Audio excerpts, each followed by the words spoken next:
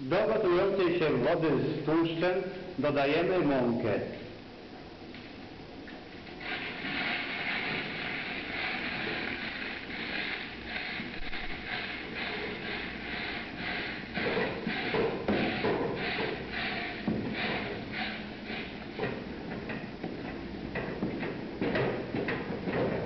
W czasie gotowania masy należy cały czas mieszać, aby, aby się nie przypaliła.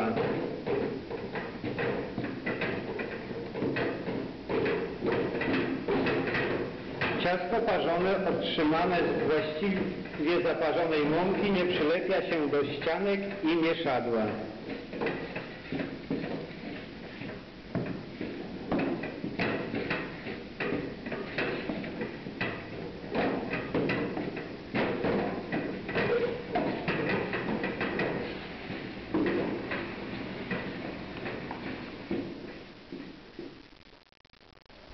Zaparzoną mąkę ochłada się do temperatury 70 stopni w czasie 15 do 20 minut. Następnie podczas ciągłego mieszania dodajemy stopniowo jajka. Operację tę należy wykonać przy wolnych obrotach mieszadła. Dodatek jaj zależy od jakości mąki i stopnia jej zaparzenia.